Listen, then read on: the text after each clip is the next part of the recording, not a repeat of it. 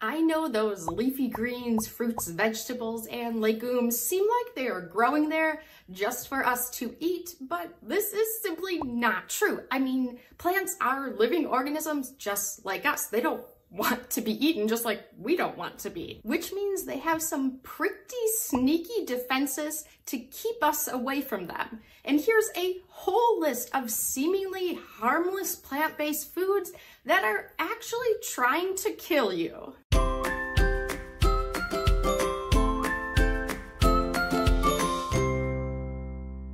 Kidney beans. Did you know that if you eat just four or five raw kidney beans, you're going to get severely sick? I'm talking like vomiting, diarrhea, like stuck in the bathroom, just things coming out of both ends. And this is all due to a molecule naturally found in kidney beans called lectins. Now these lectins, they can't be digested by the human body nor microorganisms, other pests or insects or animals that also might try to eat kidney beans. These lectins, they are like little monsters in the human body. They cause all different types of terrible things. They cause our red blood cells to clump. They will bind to carbohydrates and various minerals so that we can't absorb them and use them.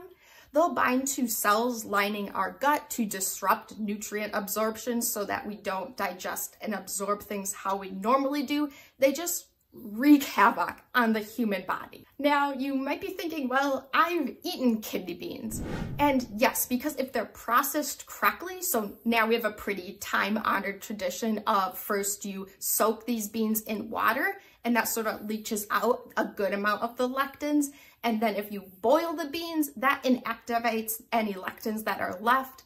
Then we have kidney beans, safe to eat, but raw kidney beans, very, very dangerous. Grapefruits, or maybe you've even heard the term grapefruit effect. And this is where if you're taking any prescription medications or active drugs and eat the citrus fruit, it actually elevates the levels of these drugs in your body. Grapefruits have this really unique and weird defense mechanism due to a molecule they contain called furanocoumarin. In our body, this molecule actually inhibits several enzymes in our liver and our digestive system from working. So it sort of stops these enzymes from doing their job, which means that any medications you're taking, these active drugs will not get degraded or broken down how your doctor sort of assumed they would. This means you get a much higher dosage of the medication than your doctor planned, and it can lead to a whole slew of different adverse side effects from taking that prescription. So you gotta be careful with grapefruits, which is easy for me because I find them just absolutely disgusting. I do not like the taste. Next up is soybeans. And maybe you think like, ah, I don't eat soybeans, but I mean, soy is such a common food ingredient. Uh, I mean, we have soy milk, tofu, soy sauce. I mean, that's just the beginning of the list. But did you know that soy actually contains an anti-nutritional factor? This is called trypsin inhibitors. They're a natural enzyme found in soybeans. These inhibitors, they are bad, bad, bad, bad news for us because once we eat them, they will bind to our digestive enzyme in our intestines called trypsin. So that's why it's trypsin inhibitors. It binds to trypsin, so our enzyme can't do its job, which is to cut up and break down protein. This means even if you're eating like a high protein diet, our body isn't able to digest it, absorb those nutrients, and use it. The protein will just go right through you and do no use at all. So the net result of these inhibitors is lower protein uptake, which can affect your growth and your metabolism. The good news is that now food processors are very aware of this anti-nutrient, so anytime they receive raw soybeans, they're sure to boil them, which can inactivate these trypsin inhibitors. Let's talk about potatoes, well, specifically green potatoes. And this is an interesting one because I remember learning this as a kid. Like my mom, I think it was my mom, maybe my grandma, told me like, if you see a potato's greening, you do not want to eat this. But, you know, they didn't explain why, and I was a kid, I probably wouldn't have understood anyways. Now, potatoes, they turn green when exposed to sunlight. So this is why you should always keep your potatoes in a very dark place. It's not that the green color is what's poisonous about the potato. In fact, the green color is just due to chlorophyll, which makes, you know, most other plants green as well. It's that the green color is a good indicator that the toxic compound solanine has accumulated. And it's this solanine that can make us very, very sick. Well, solanine is not that likely to kill you. It's really not that potent of a toxin. It will make you very, very sick. I'm talking about vomiting, stomach cramps, diarrhea. So be really careful with green potatoes. And in fact, don't use them because even if you boil them, this doesn't destroy the toxin. Frying sometimes destroys a very small percentage of the toxin, but really to me, it's just not worth it to mess with these green potatoes. Cassava. So maybe cassava is not very popular in your country, but for the whole continent of Africa, this is a very staple and common crop. It's sort of like a tuber, a potato, uh, but a very dangerous, poisonous potato because uh, it creates cyanide. Now cassava, if it's just growing, it doesn't contain that cyanide, but anytime that the plant takes cellular damage, like if someone tried to bite into it or chomp on it, if the cells are disrupted, then it creates the cyanide to poison that pest or that predator. This happens because on the cellular level, two relatively safe compounds, linamarin and lotaustralin,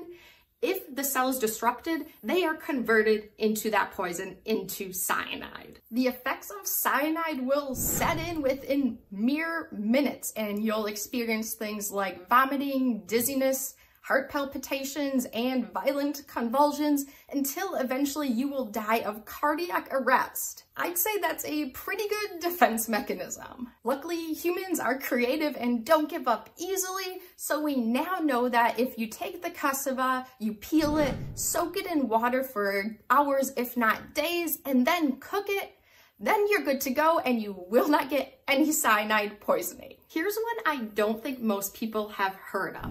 This is celery and celery contains these molecules called psoralens. And these psoralens, they are phototoxic or photoirritants, which is just a fancy way of saying if you touch celery uh, or if you eat it, it actually makes your eyes and skin very, very, very sensitive to the sun. And look at me, like I'm pale enough. I was already sensitive to the sun. So celery, this is the last thing I need. If you're someone with a garden and you're growing celery, I would handle it with care because being exposed to these psoralens, even just touching it, this can lead to sunburns, rashes, hives, and blisters on your skin. Handle with care. Have you ever heard of the poison called ricin? This is actually from a legume. It's from castor beans, which can also be used to make castor bean oil, and they naturally contain this uh, very lethal poison. Now, a dose as small as two milligrams, so picture just like a couple uh, salt grains in your hand, that's about two milligrams, that can be lethal to humans. The reason this poison is so lethal is that in the human body, it actually shuts down completely all protein production, which leads to things like organ failure until you die. And it's for this reason that historically, ricin was a very common biological agent. Nowadays, ricin poisonings aren't quite as rare because we've learned that we can inactivate and destroy this poison simply by heating the raw beans to 80 degrees Celsius. Do you remember hearing as a kid, like you should never ever eat the apple core because those apple seeds are poisonous? Maybe it's just me, but I have like very vivid memories of this. And, and this is true, kind of. So the apple seeds do have this molecule called amygdalin. And when amygdalin is in our body, in our digestive tract, it is converted to cyanide. And this could lead to cyanide poisoning which apparently plants love to play this card of cyanide poisoning. And while this might sound very bad, our body can handle a bit small amounts of cyanide. You'll be okay. Plus, if you eat the apple core, but you don't really chew or crush the seeds, if the seeds are intact, they will just go straight through you. The amygdalin is never released. To release that molecule, the seeds have to be broken open. And then if you eat that, yes, cyanide will be created. Now, if you're one of those special people who eat the whole apple, don't worry, you will probably be okay because it's estimated to get a lethal dose of cyanide, you need to eat somewhere between like 100 and 500 apple seeds. So if you eat an apple a day, you will be okay fava or faba beans. I've heard it said both ways, but this is another legume on our list. And that's because, again, these beans contain an anti-nutritional factor. This is called vicine and convicine, and it's basically because of these molecules that faba beans are really an underutilized crop. Well, these molecules won't hurt most of us. There's about 1% of the population that just genetically they lack this one enzyme called glucose 6 phosphate dehydrogenase. And if you lack this enzyme and eat fava beans, you will get something called favism or hemolytic anemia, which is pretty terrifying because if you eat fava beans, your red blood cells will just start bursting and breaking down. So pretty terrifying and really explains why fava beans aren't a very common crop. Rhubarb. So I love using rhubarb stalks to make a nice crumble or some type of jam, but be sure to keep the rhubarb leaves off your plate. This part of the rhubarb plant contains a toxin called oxalic acid.